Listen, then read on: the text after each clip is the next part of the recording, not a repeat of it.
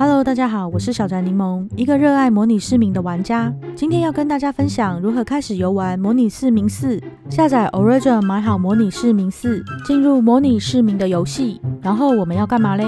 我要让模拟市民生很多很多孩子。嗯，这个算是实现梦想。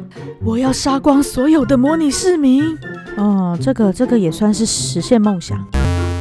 在进入任何疯狂的模拟人生之前，游戏会要求我们先设定一个家庭。我们可以自己捏，也可以在官方的模拟工坊下载。只要稍微搜寻与下载，白雪公主就出现了。如果对于白雪公主的长相不满意，还可以做些调整。哎呦，这个胸部不科学啊！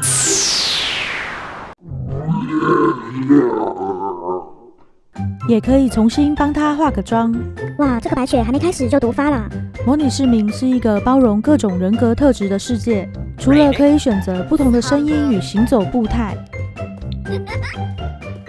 在性别认知上的选择也非常的多元。所以我们可以自由的设定一个人体结构跟衣装偏好都是女性，但是可以让别人怀孕又有香蕉的白雪公主。怎么会有香蕉这种选项？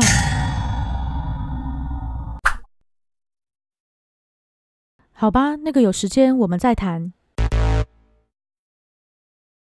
之后再胡乱给白雪公主穿些衣服，大致上就完成外观设定了。做人七分靠外表，三分靠梦想。身为模拟市民也一样，需要一个终身抱负。这里有正面的，也有负面的。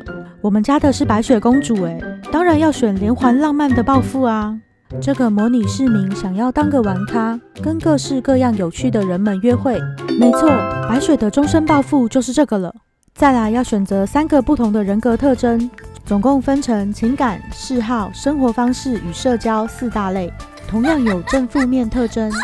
依照白雪公主的性格，我帮她选择了浪漫风、贪吃鬼以及热爱户外。都设定好了之后，就可以开始进入模拟市民的世界。等等。一个家庭只能设定一个人吗？当然不是，一个家庭最多可以设定八个人，所以刚好就是一个白雪公主加上七个小矮人就满了。白马王子、p a 加 K One 呢？那那我可以排后补吗？不行。那么下集我们再来看白雪公主如何在模拟市民里讨生活。喜欢我的影片就多看几遍，好东西要跟好朋友分享哦。